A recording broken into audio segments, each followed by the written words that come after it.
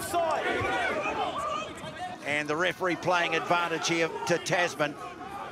Their work on the game line is the best of any team in Super Rugby, and they offload the ball brilliantly too. And here's Leicester Fainga'a breaks the first one and sprints in for the corner for the first try of the day.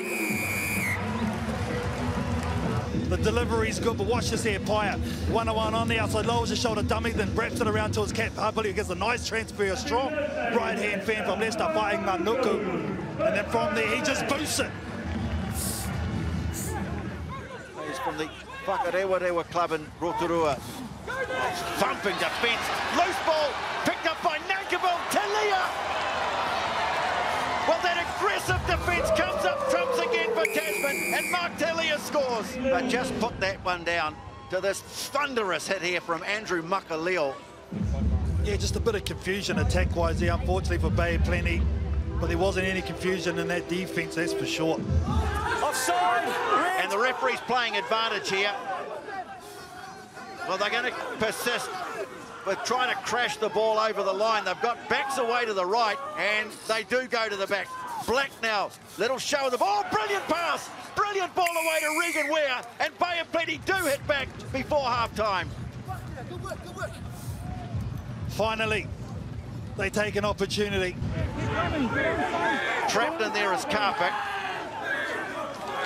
And yeah, Christie wasn't going to let that opportunity slip, and he takes the tap, and off he goes too. Needs to pop it to someone. Oh, he finds Norris. Here's a chance.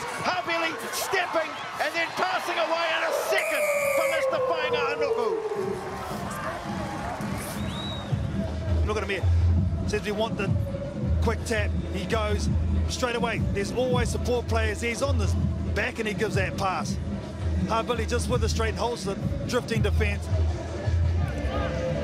Oh, Restart and or take it out in the air. A mistake from Chase Tiatia. Quickly acknowledged it. Taking his legs out. They're just seeing if he's going for the ball. He's trying to pull out. Okay, so it's yellow card.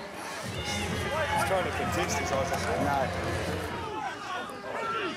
Coming back for Christie.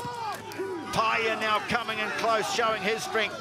Tasman really looking to bang home a real advantage here. Was stretching out was Christie.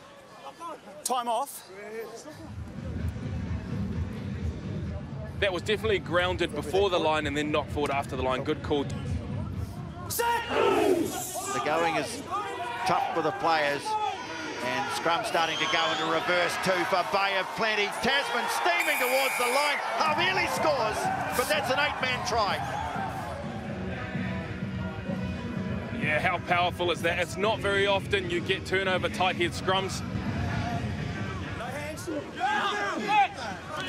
So they go to Stewart now, and they drive on him. Louis Chapman away to Ryan Coxon. Powerfully built prop. Chapman again. Blair Princep is there. Came into the game late, sliding over and scoring. Well, Blair Princep, a late call up for this one, gets the ball over the line for his first try.